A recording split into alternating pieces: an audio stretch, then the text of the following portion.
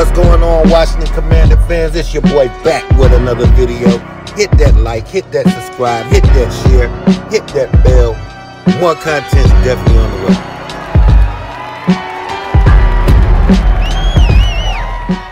It's been an absolute pleasure watching Adam Peters and Dan Quinn work this offseason. I mean, from the beginning to the end, from the coaching hirings to the to the free agent moves to everything, and, and shaping this roster.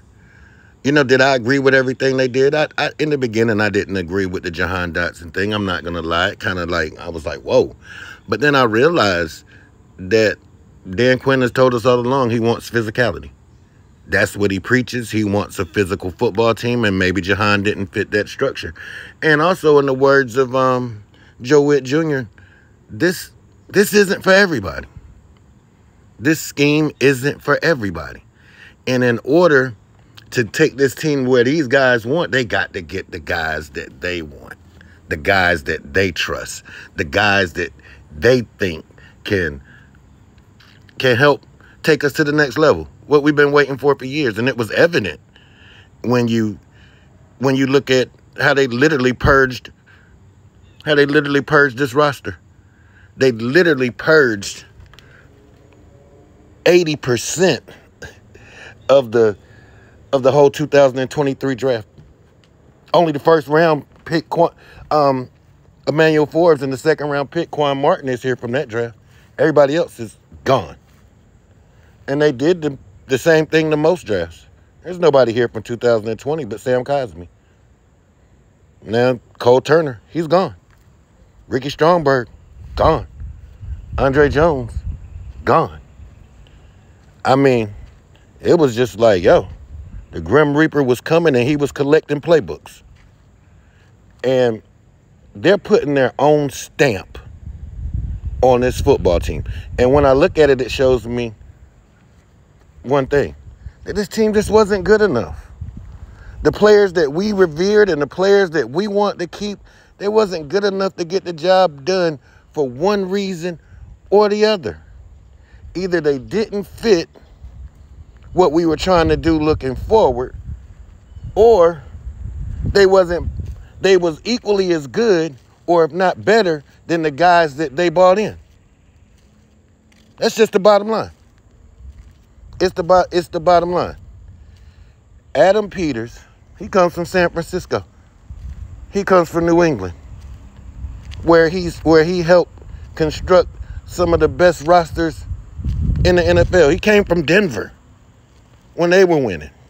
So he knows what this thing looks like. Dan Quinn. Do you remember Dallas Cowboys defense the year before he got there? They were the worst in the National Football League. He turned it around in one off season. I'm not saying he's turning this around in one off season, but and and the things he did in Atlanta by reaching the Super Bowl. So he knows what it looks like. He knows what he wants his system looking like. And I can't I can't disagree with that. I've never built a football team. So I can't I could I can give my opinion, but it really don't matter. So I'm just gonna enjoy this ride, man. I'm I'm gonna enjoy the ride and, and the moves we made. I, we don't have to go over them. We don't have to go over the 53 man roster. I mean, every content creator is giving you that. But this is the beginning. This is the beginning of a new day in Washington. Hell, man, we're getting on the field in nine days. And what's my predictions for this team? I don't really have one. Only thing I want out of this team right here is to compete every week and then we build off of that and then we keep adding until we get the product that we want that adam peters wants that dan quinn wants. That's all we can ask for. That's it. We can't ask for more than that. That's all. So that's just let me know the lack of talent that was on this team the lack of talent showed last year we only won four games. Now, keep in mind, a lot of that was coaching. A lot of that was coaching. A lot of that was bad roster moves. Hell, a lot of that was Dan Snyder. A lot of that, all of that's cleaned up now.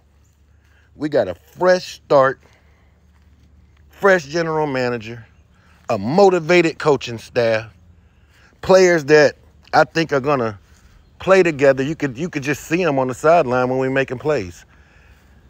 Jonathan Allen, he wanted to get out of here last year. As soon as he talked to Adam Peters and Dan Quinn, he was on board. So I think they're doing it the right way. And that's all you can ask, is doing it the right way. Only thing you can ask is to look like a quality organization, to look like a regular NFL outfit. Hell, to look like all the other teams in the National Football League. That's really all you can ask for. And then the foundation is laid. And now the thing that's going to happen now is we got a quarterback. Now you're going to have free agents that want to come here. You're going to want to have defensive players that want to come here, offensive players that want to come here, receivers that want to come here. You got a superstar quarterback potentially in the making. And if he reaches his ceiling, I heard somebody say he's really already at his ceiling. But if he reaches his ceiling, that's more fans. That's more everything that you can ask for. And I think that Adam Peters and company, they did a great job of actually just making this team credible making this team. This team's going to compete. This team's going to play hard. I have no doubt in my mind this team's going to play hard. I can't tell you the record, but I, I can tell you this. I think this team's going to play hard. I mean, the mentality of Dan Quinn alone is infectious. When he got here, I was all bought in. I didn't want Dan Quinn. I mean, I'm on record saying that I didn't want Dan Quinn. But when I seen the moves that were made, when I seen the coaching staff that was built, when I seen the free agents that came, when I seen the Jayden Daniels draft, and when I seen the players that he did keep, I was like, man, we about to go to war. Let's take command. Let's take command. Let's take command.